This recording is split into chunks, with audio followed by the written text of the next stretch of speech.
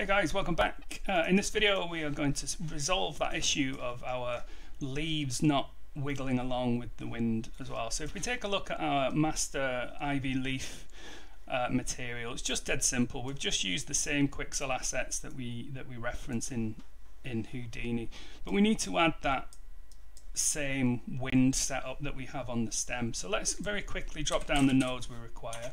So we need that vertex color information we need a simple grass wind node as well and we can plug that into the world position offset. And again what we want to do is just multiply that green channel onto our values okay? So we can make use of the um, the material function that we created in the last video and just drag that in there to get our values in. Uh, and then drop down some multiply nodes okay and make those connections.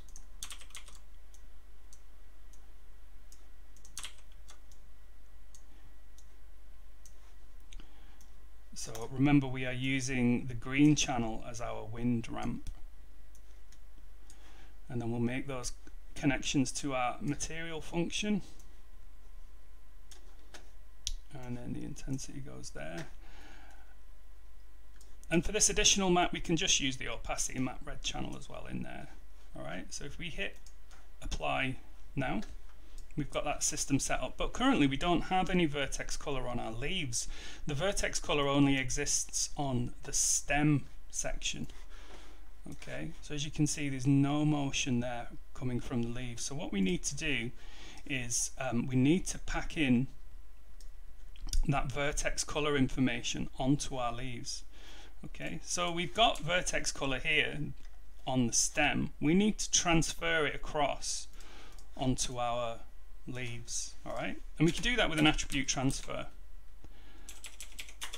So if I put that down, it's got two inputs, this node, and it requires the geometry to transfer the attributes to, which is our first, which is our leaves section here, and an input from where the attribute is coming from, okay? So if we put the display flag on there, and the attribute that we're interested in transferring is a vertex attribute, and you can see currently at the moment these leaves don't have any vertex color coming in.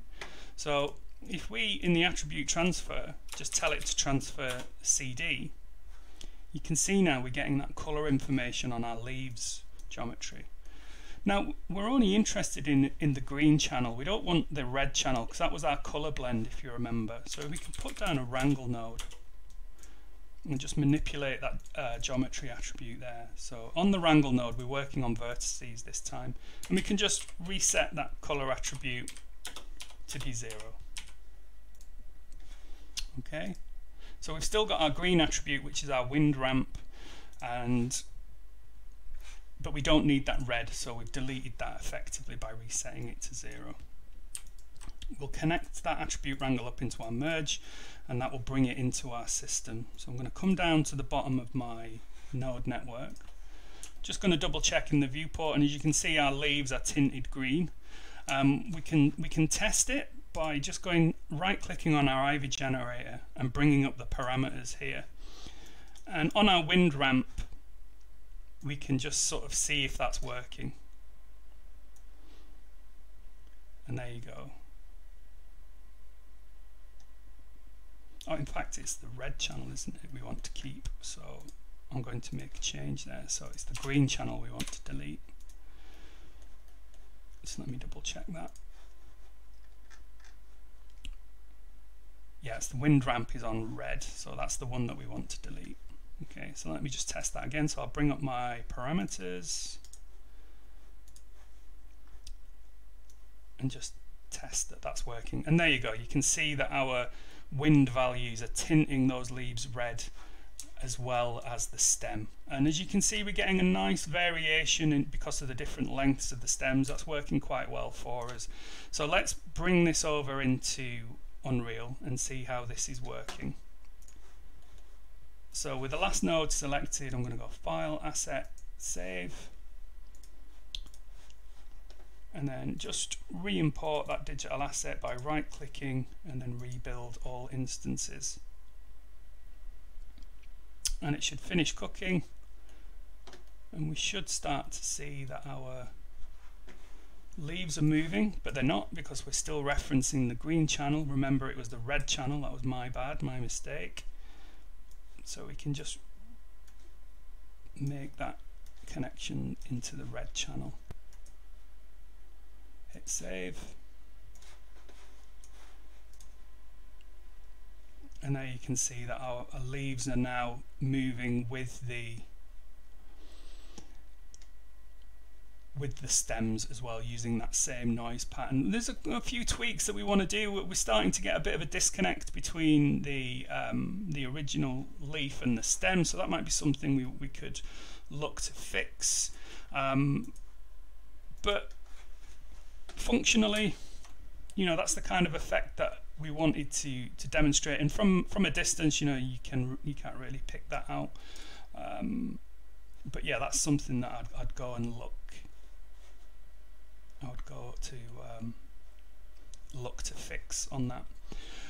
Okay, so that was our vertex color information done. And don't forget you've got the control of this wind ramp here. You can you can tweak this uh, ramp position here in the viewport to really uh, fine-tune how you want this this wind to occur.